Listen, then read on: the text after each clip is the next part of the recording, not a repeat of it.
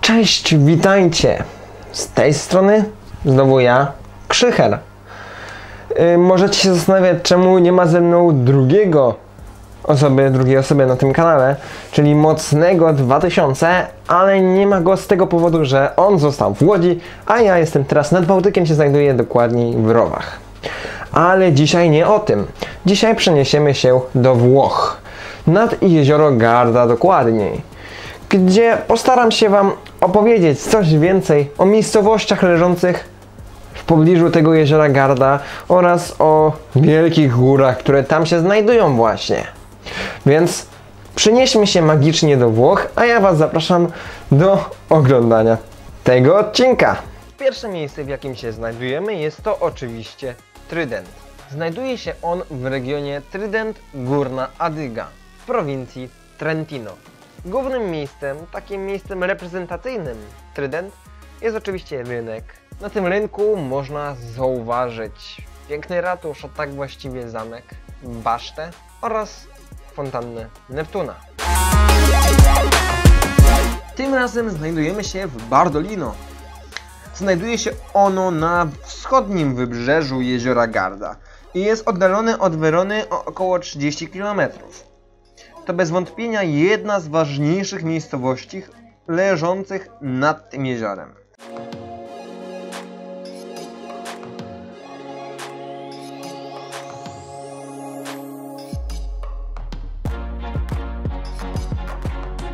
To, co mi się najbardziej podobało w miasteczkach leżących nad samym jeziorem Garda, to są malutkie uliczki, w których wiem, że zawsze jest coś ciekawego do zobaczenia. Przenieśliśmy się teraz do miejscowości położonej wysoko w górach, a mianowicie do Spiacji. Spiacji jest oddalone niejako od jeziora Garda. A przenieśliśmy się tam, ponieważ niedaleko tej miejscowości znajduje się sanktuarium Madonna della Corona. Jest to wyjątkowe miejsce w przepięknej lokalizacji. Obiekt ten dosłownie jest przytulony do stromej skały, a z punktów widokowych wokół niego rozciąga się widok zapierający dech w piersiach.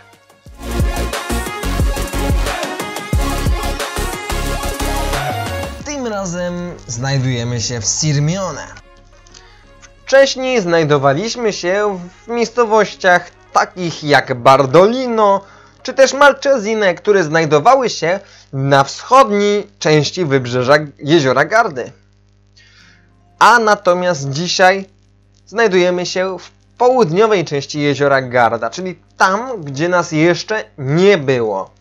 Sirmione to ekskluzywny kurort położony na wysuniętym w głąb jeziora wąskim cyplu, Znajdują się tutaj najbardziej prestiżowe hotele nad całym jeziorem, ponieważ posiadają one własne baseny termalne. Historyczne centrum oddzielone jest od reszty cypla fosą, która biegnie dookoła zamku, a na starówkę wchodzi się przez historyczną bramę zamku, oczywiście z Kaligierich, jak większość zamków w okolicy jeziora Garda. Został on wzniesiony, zresztą jak zamek w Malczyzinę, w XIII wieku. Po przekroczeniu bramy miasta czeka nas kolejna niespodzianka, bowiem czeka nas, nas gąszcz wąskich uliczek, a urokliwe centrum z każdej strony otoczone jest wodą. Po prostu przepiękny widok. Oto Sirmione.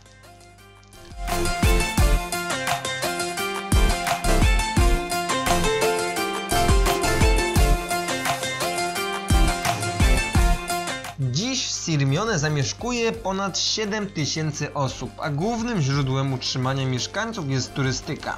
Turystyce sprzyja niezwykle malownicze położenie Sirmione, dobra infrastruktura, hotelowo-restauracyjna i śródziemnomorski klimat.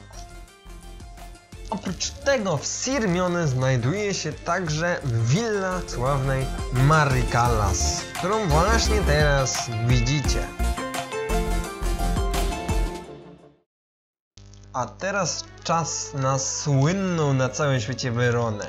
Nawet bez historii o Romeo i Julii byłaby warta zobaczenia. Miasto ze swoją urzekającą starówką, skupioną wokół rzeki Adygi, należy do ścisłej włoskiej czołówki. UNESCO wpisało Weronę na listę światowego dziedzictwa, a nieszczęśliwie zakochani z całego świata nieustannie przysyłają tutaj listy do kościółka, w którym miała być pochowana Julia. Werona, miasto zakochanych, to prawda, ale oprócz miejsc związanych z Romeo i Julią, warto także zobaczyć tutaj Piazza Brai. To jest jeden z reprezentacyjnych placów miasta, przy którym znajduje się amfiteatr. Amfiteatr, którego budowa została zakończona w 30 roku naszej ery. Ma więc on prawie 2000 lat. Większe amfiteatry znajdują się tylko w Rzymie i w mieście Capua nieopodal Neapolu, co oznacza, że to jest trzeci amfiteatr pod względem wielkości na całym świecie. Amfiteatr w Weronie na marmurowych siedzeniach był w stanie pomieścić 25 tysięcy widzów.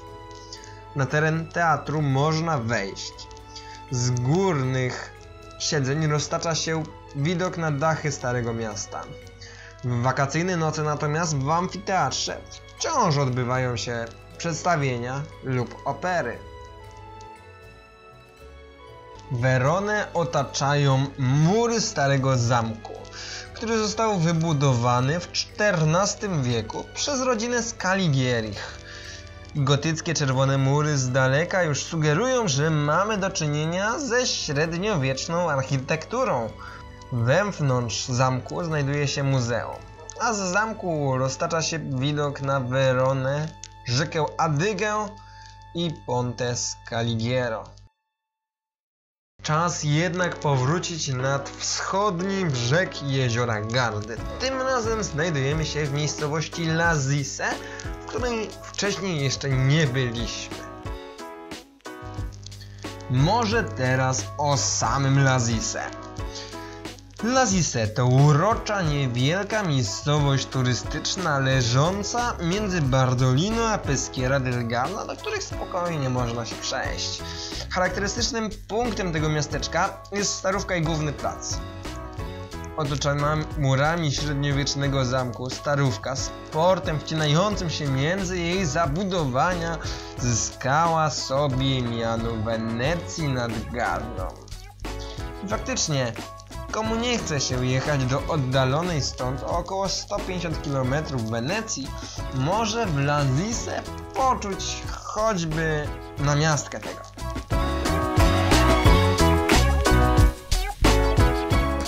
No i w tym miejscu muszę się tutaj pojawić. Z tego powodu, że byłem także na drugiej stronie wybrzeża jeziora Gardy, czyli w miejscowościach Torri del Benaco, czy też w miejscowości takiej jak Salo. Ale niestety zginęły mi z tego nagrania, czego bardzo, bardzo żałuję. Oczywiście jak je znajdę, to je wstawię na kanał taki bonus osobny, więc teraz nic Wam nie będę o tym mówił, ale jak znajdę, będę ich szukał, to wtedy wstawię je jako taki bonus do tego filmiku. A więc y, przenosimy się do ostatniego dnia, w którym to byłem w Parku Natura Viva, czyli w, w safari, w zoo safari,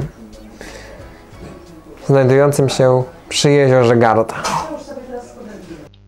Teraz odbijamy od jeziora Garda i przenosimy się do Parku Natura Viva. Znajduje się on w prowincji Verona, niedaleko od wspomnianego jeziora.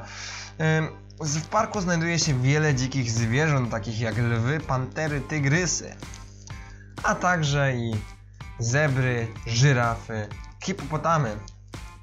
Park przez wiele lat był za, zaangażowany w kilka projektów konserwatorskich dotyczących ochrony i zachowania flory i fauny, które były zagrożone wyginięciem. Jest on czysty, dobrze utrzymany i zorganizowany. Park jest odpowiedni najbardziej dla rodzin z dziećmi. Resztę sami zobaczcie.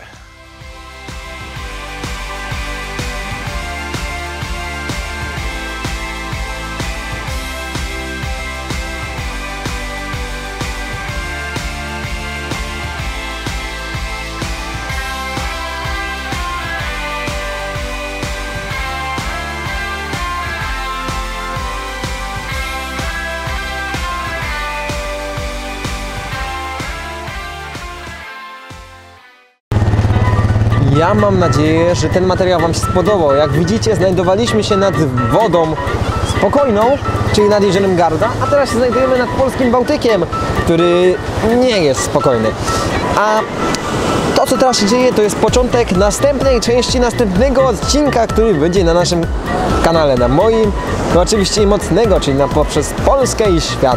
Więc jeżeli chcecie go zobaczyć, chcecie zobaczyć ciąg dalszy tego, co teraz tutaj nastąpi, co teraz tutaj się zaczyna, to oczywiście kliknijcie subskrypcję tutaj, w tym momencie, tutaj, w tym miejscu. Tu możecie dwa inne filmy zaobserwować oraz zostawić łapkę w górę. Ja się z Wami żegnam i trzymajcie się ciepło. No i do następnego razu. Witajcie, ja jestem Krzycher. Nie ma dzisiaj ze mną niestety mocnego, bo zostawiłem go w Łodzi. Ale ja dzisiaj chciałbym...